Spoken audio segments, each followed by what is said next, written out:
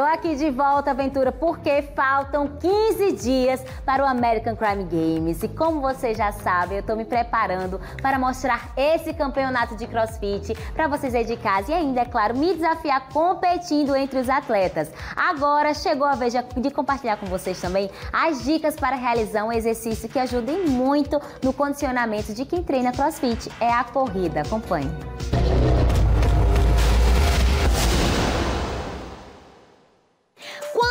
Fala em crossfit, é muito fácil vir à mente as pessoas levantando peso para cima da cabeça, não é mesmo? Eu tenho certeza que você aí de casa já pensou nisso. Mas eu posso dizer com propriedade para uma pessoa que já treina que não é bem assim, gente.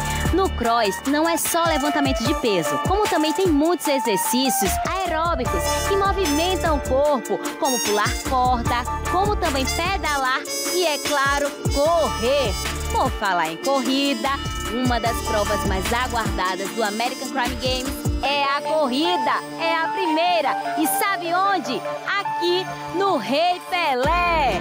É isso mesmo, meu povo. É por isso que eu estou aqui no Rei Pelé, nesse estádio maravilhoso, para provar para você que o cross e a corrida estão assim, ó, lado a lado. E como essa preparação pode ficar ainda melhor com vocês acompanhando. Vem comigo!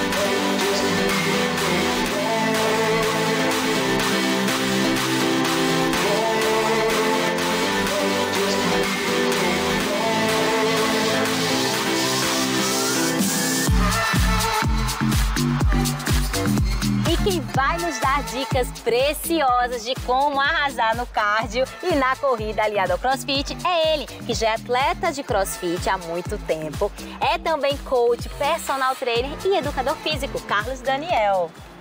Tudo certo. Tudo certo, Carlinhos. Conta pra gente mais sobre como funciona é realmente um treino de cardio e como ele está atrelado e qual a importância dele dentro do CrossFit.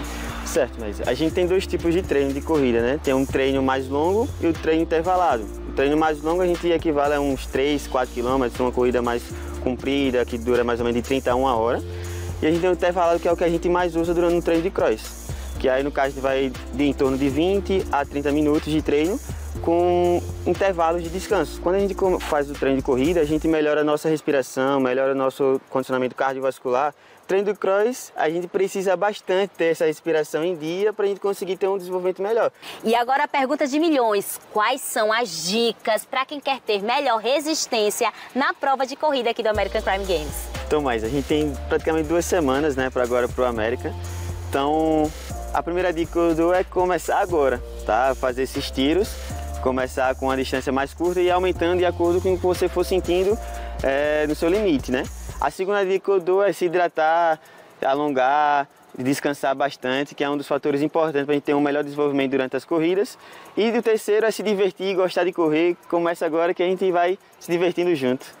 E para finalizar, a galera que está me assistindo aí, você, minha amiga, meu amigo, que nunca correu, qual é aquela dica para quem quer começar agora, Carlos? Então, começa sempre caminhando, né? Respeitando seu condicionamento, começa caminhando e decorrer com o tempo, quando você for ganhando condicionamento, você vai trotando, vai correndo e sempre querendo se desafiar e respeitar o seu limite do corpo.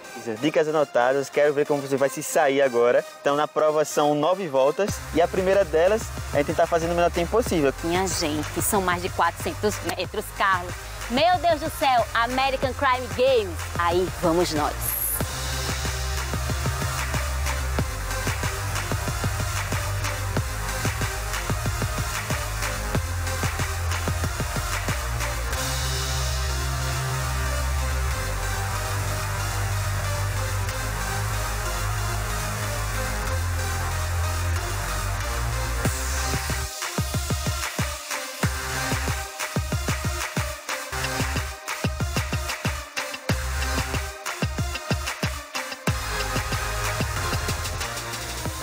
Se uma volta já foi desse jeito, imagine nove, minha gente. Meu Deus do céu.